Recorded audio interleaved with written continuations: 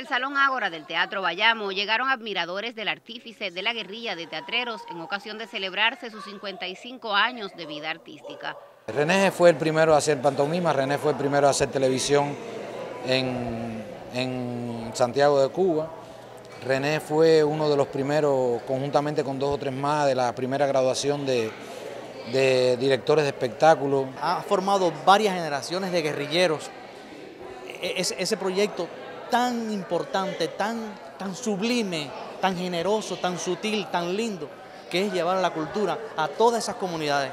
Organismos, creadores, instituciones culturales, público y organizaciones del Estado reconocieron el trabajo incansable de René Reyes, director de la guerrilla desde sus inicios hace ya más de 20 años. Soy un ser humano eh, privilegiado porque en la profesión de teatrista he podido interpretar personajes importantísimos, como Céspedes, como Perucho, como Máximo Gómez.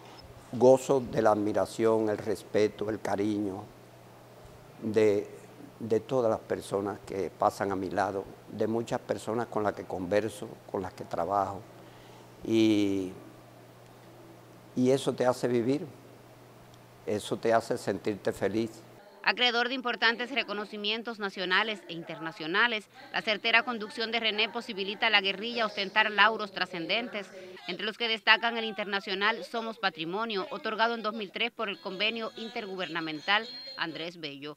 Los premios Abril, el Nacional de Cultura Comunitaria, Distinción la Utilidad de la Virtud y Vanguardia Nacional del Sindicato de la Cultura por 15 años consecutivos.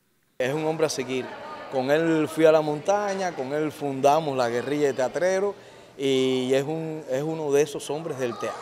Me daba las gracias por el homenaje y, y me decía que, que no tenía cómo agradecer y yo le decía que en ese homenaje estaban la voz de todas esas personas en, en lo más intrincado de las lomas de Cuba que reciben eh, el arte de ellos y no se lo pueden decir.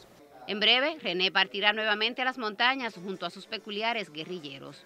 Por aquellos sitios complementará su dicha recibirá sonrisas, aplausos y gratitudes de quienes le esperan cada año y desean larga vida a este creador dedicado como pocos a salvaguardar lo más genuino de nuestra cultura y tradiciones.